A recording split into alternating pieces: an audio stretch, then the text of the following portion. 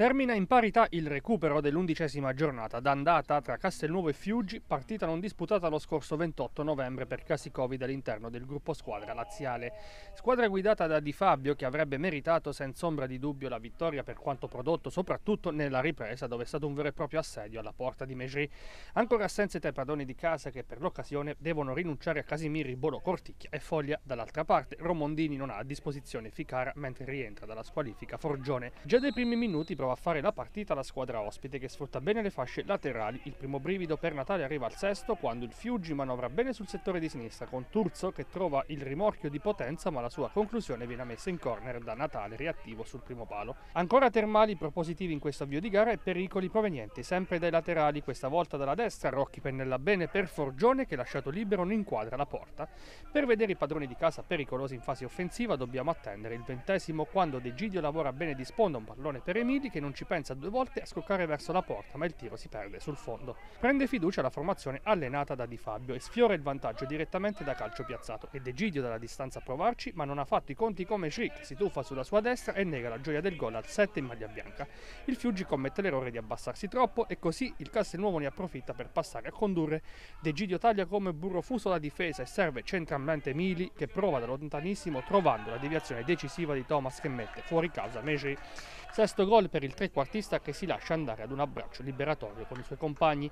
Trovato il vantaggio, i neroverdi spingono alla ricerca del gol del raddoppio, ma su una stupenda acrobazia di Ripa, servito con il contagiri d'Alfieri, Mesri si salva distinto, mantenendo a galla i suoi. Parata fondamentale la sua, perché al quarantesimo il Fiuggi agguanta il pareggio. Sfortunato Alfieri che nel tentativo di allontanare la sfera serve Soe, il quale dal limite con un esterno collo azzecca l'angolino vincente alla destra di Natale. Il Castelnuovo potrebbe rimettere immediatamente la freccia e lo meriterebbe per quanto visto nei 45 minuti. Dagli sviluppo di calcio d'angolo è Capitan Terrenzo a trovare lo stacco imperioso ma la palla si stampa sulla traversa. Con gli stessi 22 di come si era chiusa la prima frazione, la ripresa si apre con i bianchi di casa ad avere una doppia occasione per passare in vantaggio. Sale in cattedra sulla sinistra San Severino che pesca Ripa, centro area al dodicesimo ma l'attaccante stoppa bene ma in precario equilibrio spedisce alto sulla traversa. Un giro di lancette di ancora l'ex Juve Stabia, questa volta di testa, sempre su assist del terzino, a spedire incredibilmente fuori.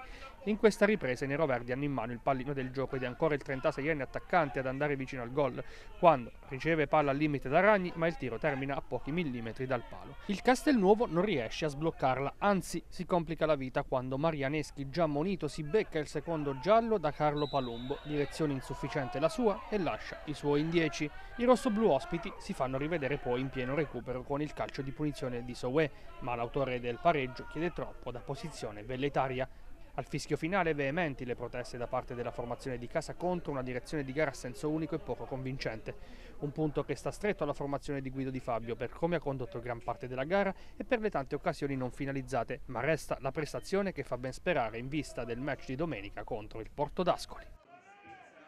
Abbiamo fatto una partita strepitosa e i ragazzi la volevano a tutti i costi fare perché eh, diciamo che nelle ultime partite il Castelnuovo c'è stato a sprazzi e, e, quindi quello non è bastato sicuramente, oggi ci voleva una, una prestazione di un certo tipo, i ragazzi dal primo all'ultimo minuto, anche quando siamo rimasti in 10, eh, hanno creato 7-8 palle gol clamorose e purtroppo in questo momento non ci gira per niente bene, anche eh, io ve lo dico eh, sempre, no? non voglio mai parlare de, delle decisioni arbitrali, ma puntualmente ogni domenica è una cosa scandalosa, capito? Proprio metri di giudizio completamente opposti e questo ti, ti ha fastidio perché io è vero che non voglio dare alibi ai miei ragazzi, però arriva a un certo momento è talmente lampante la cosa che eh, diventa, diventa, una cosa insostenibile. Capito? Comunque eh, quello che c'è di buono dobbiamo prendere perché è una prestazione strepitosa che dobbiamo, eh, dobbiamo sicuramente continuare così.